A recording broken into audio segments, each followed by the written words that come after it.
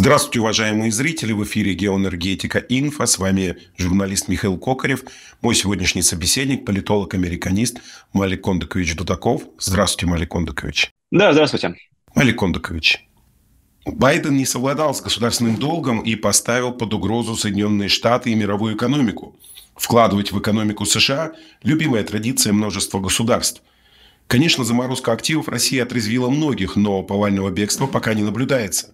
Что ждет Соединенные Штаты и мировую экономику в случае очередного дефолта Соединенных Штатов?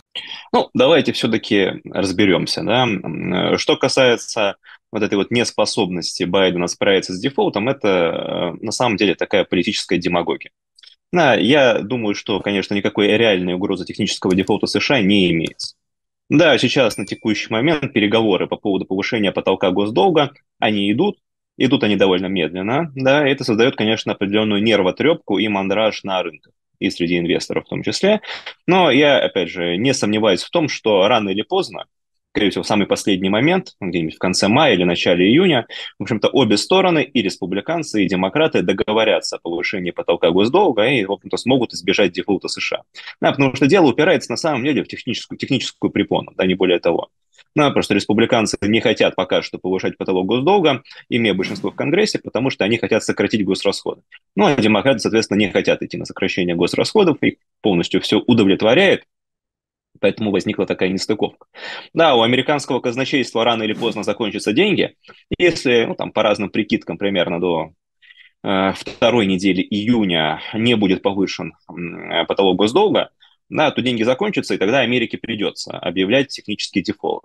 Вот. Но я думаю, что до этого, конечно же, не дойдет, и в последний момент они договорятся. Поэтому ну, вот, э, с, с этого стоит начать. Потому что, конечно, в, в реальности ждать этого не стоит. Да, и обольщаться по этому поводу тоже, конечно же, не надо.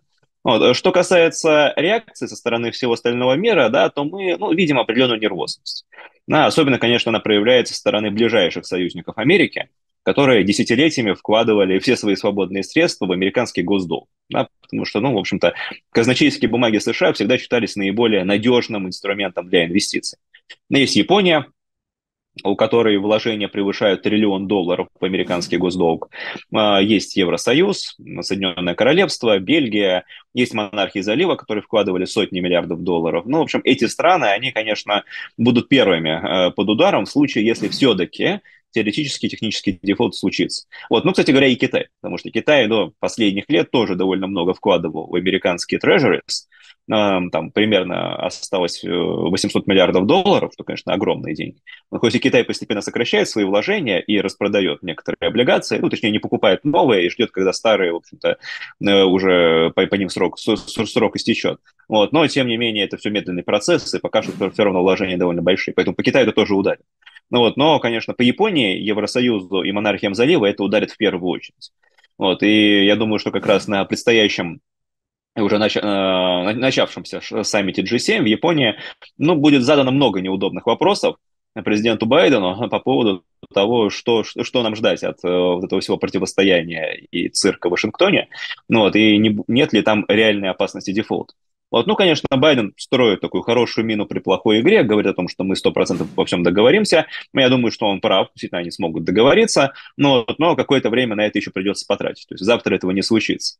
Но и мы, конечно, видим то, что это уже начинает влиять в чем-то на внешнюю политику США.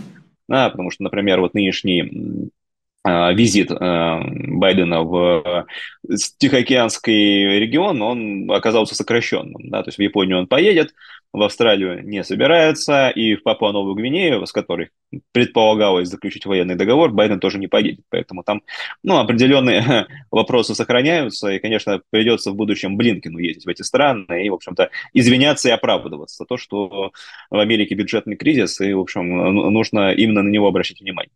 Вот, теперь, касаясь второй части вашего вопроса, да, чего ждать, если все-таки дефолт случится? Вот, ну, наверное, полностью исключать такой вероятности не стоит, но она просто небольшая. То есть я там думаю, что 3, 4, 5 процентов, не более того. То есть это, конечно, может произойти, но все-таки базовый сценарий 95 процентов, что этого не будет. Вот, но если теоретически предположим, да, что не смогут договориться, не смогут повысить потолок госдолга, во что я лично не верю, но вдруг, мало ли это случится, вот, то в таком случае это, конечно, будет колоссальный удар по репутации США, как в первую очередь надежного заемщика. Вот вы правильно отметили, что ну, были другие события в американской истории, которые ну, теоретически можно было бы притянуть под термин дефолта. Вот, но эм, здесь есть большое но. То есть, во-первых, это либо мои какие-то технические неполадки, как, например, в 1979 году, когда просто вовремя не успели убить проценты, то есть это, ну, в общем-то, оплошность, и потом, в общем-то, все это компенсировали, что там э, задолжали инвесторам, вложившим деньги в американские казначейские бумаги.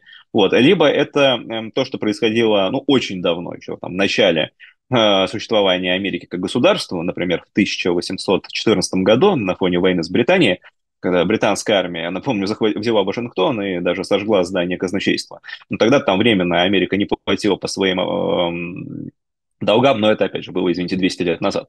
Вот все остальные события, они, ну, их очень сложно подтянуть под этот термин, и поэтому, ну, конечно, все-таки, скажем так, и если дефолт будет, для Америки это будет означать очень важные прецеденты, как и для всего мира, да, и с очень плохими последствиями. А, то есть э, мы же понимаем, да, что, например, тот, тот же доллар, он подкреплен не золотом, как было в эпоху Бреттон-Вудской системы, да, а он определенной верой, довольно зыбкой на самом деле.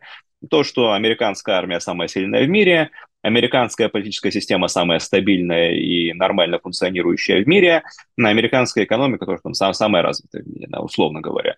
Вот. Если окажется, что произошел дефолт, означает, ну, армия как бы отодвинем на второй план, хотя тут тоже вопросы возникнут, да. Если дефолт, и он затянется, как бы на, на какие деньги обслуживать эту самую огромную военную машину, не ясно. Вот, но что касается политической системы, да, а, выяснится, что она нормально не может функционировать. Surprise, да, если даже обе партии не могут договориться о повышении потока госдолга, казалось бы, технической процедуре. Ну вот, но американская экономика, конечно, да, и не самая стабильная, даже близко, э, учитывая, что она окажется тоже под очень мощным ударом, если дефолт произойдет. Для Америки это будет означать ну, там много разных последствий, да, перебои с выплатой социальных пособий, взлет безработицы, фактически почти гарантированное наступление рецессии и так далее. Но для всего мира, ну, в общем-то, дальнейшую потерю доверия к доллару и вот к Америка, америкоцентричной финансовой системе. Поэтому я думаю, что результат будет, в общем-то, полной катастрофой для Вашингтона и том числе для администрации Байдена. Конечно, они постараются этого избежать. Американская либеральная пресса бьется в истерике, требуя поддержки Джо Байдену на следующих президентских выборах, аргументируя, что в противном случае Трамп кинет Европу в вопросе конфликта с Россией в энергетическом и военном плане. В свете последних событий России нужно ожидать концентрацию Соединенных Штатов на решении внутренних проблем или Соединенные Штаты продолжат эскалацию ситуации в мире, чтобы сменить спектр внимания. Ну, мы понимаем, да, то, что для Америки, как для сверхдержавы, в общем-то, внутренняя политика перетекает в внешнюю и обратно. Э, разница довольно-таки размыта. Если для других национальных государств разница есть, для Америки она не совсем настолько очевидна. Вот поэтому, понимаете, можно заниматься одновременно разными вещами, и разбираться со внутренними проблемами, да, и заниматься внешней политикой. Поэтому здесь я особого противоречия не вижу.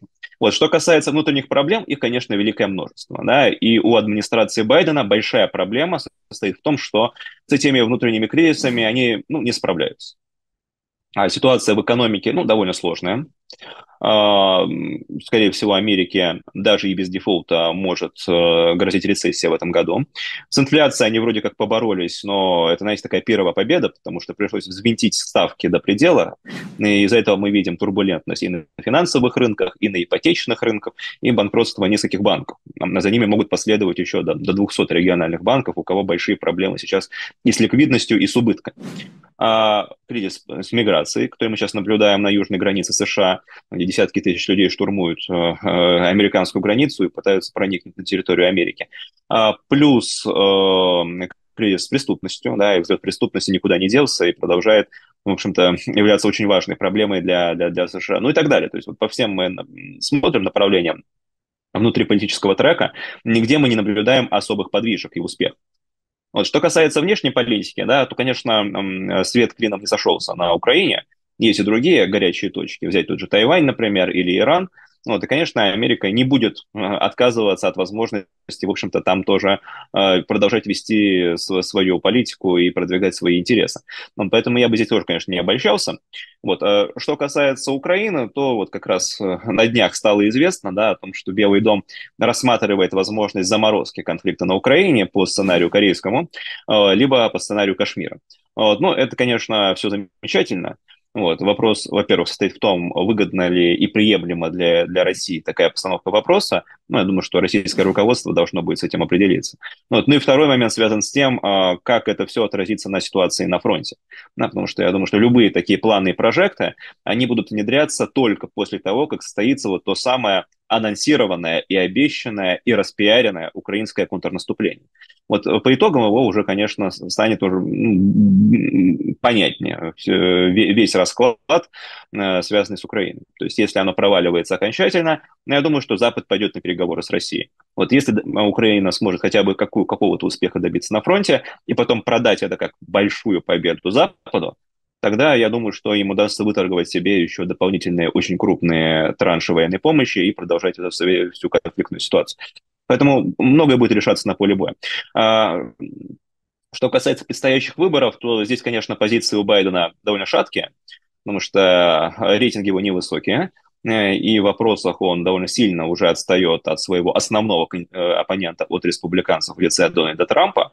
Вот. Но до выборов еще полтора года, конечно, да, и поэтому есть возможности наверстать упущенное, да, не усилить свои позиции. Поэтому э, не берусь прогнозировать, каким будет исход президентской гонки, но очевидно, что и у Байдена, и у Трампа есть шансы на победу в 2024 году. Не стоит никого из них заранее списывать со счетов. Запрет ТикТока в Соединенных Штатах, что это означает? Почему только один штат, а не все остальные? Ну, они не блокировали ТикТок. Если вы имеете в виду решение в штате Монтана, Э, э, это отдельная ситуация. Но все-таки давайте так, э, не было никакого решения о блокировке TikTok на территории всей Америки.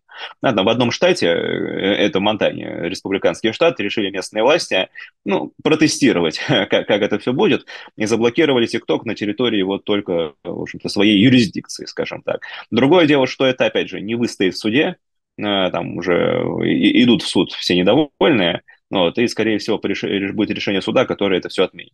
Поэтому здесь я не думаю, что к чему-то знаковому это приведет. А вот здесь действительно всерьез могут взяться за запрет ТикТока, это именно в Евросоюзе, потому что там, ну, нету первой поправки Конституции, как в США, и нету вот этого понимания свободы слова, и многие такие вещи гораздо проще устраивать. Спасибо большое. С нами был политолог-американист Малик Кондакович Дудаков. Обязательно подписывайтесь на его телеграм-канал, ссылочка в описании. Там вы прочтете самые свежие, интересные новости из э, Соединенных Штатов Америки, а самые свежие интересные новости в сфере энергетики вы обязательно прочтете на телеграм-канале Геоэнергетика Инфо.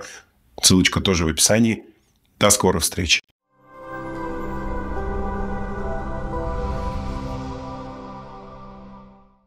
Обращусь э, к зрителям и к слушателям. Мы решили организовать ряд конкурсов, которые будут проводиться на нашем телеграм-канале, исключительно для подписчиков телеграм-канала. Будут э, наши вопросы, ваши ответы тем, кто победит в конкурсе в качестве приза. Э, книга «Энергетика, изменившая мир» моего авторства с моим автографом. Конкурс на нашем телеграм-канале с таким же названием «Геоэнергетика инфо». Заходите, подписывайтесь, участвуйте в конкурсе.